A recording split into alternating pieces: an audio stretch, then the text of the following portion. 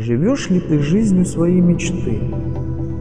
Или проживаешь ее, как основная серая масса людей, пустившая свою жизнь на самотек, убеждая себя, что нельзя в этом мире ничего изменить.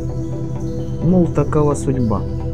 Если ты в жизни еще ничего не добился, знай, виноват в этом только ты. Только ты отговариваешь себя изменить свою жизнь. Эй. Не слушай никого, кто скажет, будто ты чего-то не можешь.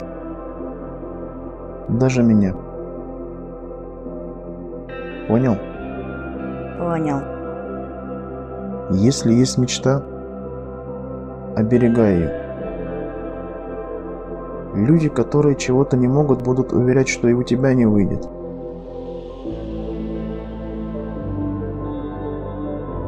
Поставил цель, добейся. И точка.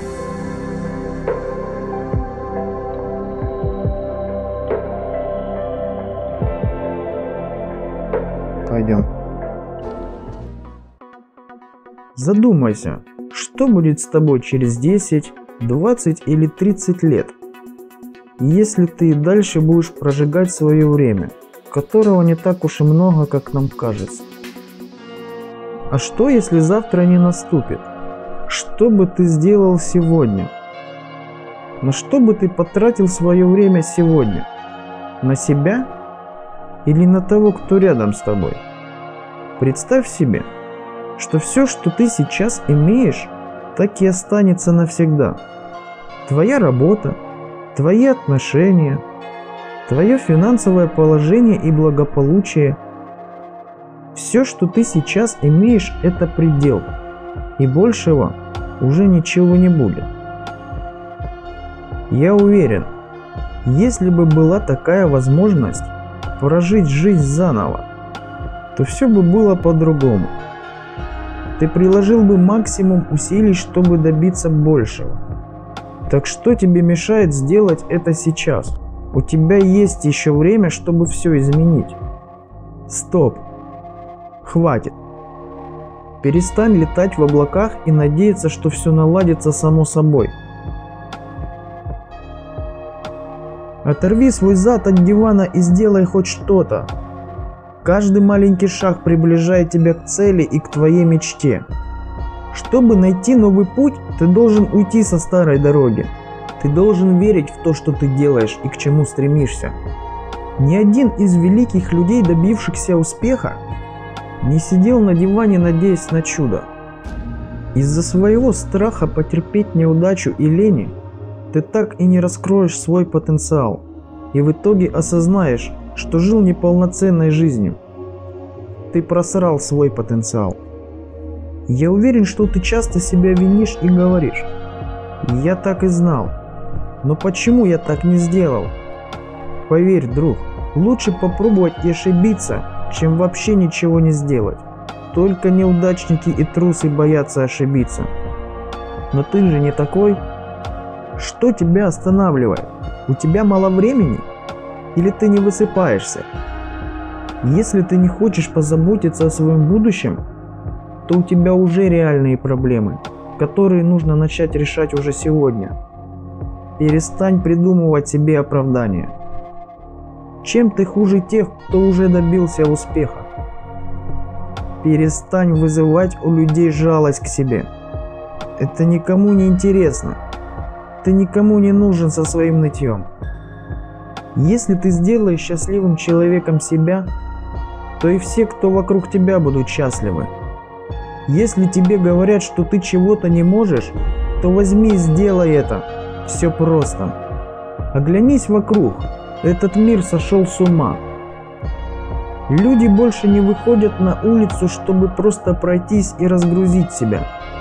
Они зависают дома на диванах, уставившись в свои гаджеты наполняя свою голову всяким дерьмом.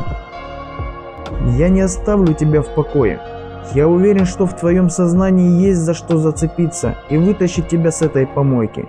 Задумайся, что ты оставишь после себя? Не самые умные люди добиваются успеха, а те, которые не отлаживают дела на завтра и не оправдываются. Они сами выполняют действия. Они сами несут ответственность за свою жизнь. Я скажу то, что для тебя не новость. Мир не такой уж солнечный и приветливый. Это очень опасное, жесткое место. И если только дашь слабину, он опрокинет с такой силой тебя, что больше уже не встанешь. Ни ты, ни я, никто на свете не бьет так сильно, как жизнь. Совсем не важно, как ты ударишь, а важно, какой держишь удар, как двигаешься вперед. Будешь идти, иди, если с испугу не свернешь. Только так побеждают. Если знаешь, чего ты стоишь, иди и бери свое, но будь готов удары держать, а не плакаться и говорить «Я ничего не добился из-за него, из-за нее, из-за кого-то». Так делают трусы, а ты не трус. Быть этого не может. Каждый раз, когда тебе говорят «нет», ты должен сделать «да». Шаг за шагом, и ты добьешься всего, если не сдашься. Тот, кто думает, что он неудачник и у него не получится, просто помни – Каждый новый день – это новая возможность все изменить. Иди и докажи всем, что ты чего-то стоишь. Попробуй хоть раз проснуться в 5 утра и выйти на пробежку, когда город еще спит. Побудь наедине с самим собой. И когда ты вернешься домой, ты почувствуешь в себе такой прилив силы и энергии, что будешь готов свернуть горы то время, пока кто-то, почесывая зад, встает со своей кровати, взяв опять телефон в руки и заваривая кофе, набивает свою голову всяким мусором, ты уже будешь максимально сконцентрирован. Твой мозг уже будет на пике своей продуктивности для решения любых задач и достижения цели. А сейчас я попрошу тебя максимально сосредоточиться, посмотреть и послушать, что я тебе сейчас скажу. Человек в среднем проживает до 70 лет. Из них 20 лет – это спад продуктивности после 50. 18 лет – это до момента, когда голова начинает работать. Допустим, тебе сейчас 25.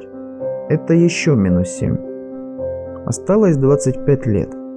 Это 9125 дней. Умножим их на 24 часа получим 219 тысяч часов. Из них отнять по 8 часов на сон в сутки в среднем. Останется 146 тысяч часов. Это 869 недель. Ну что, как прошла твоя неделя?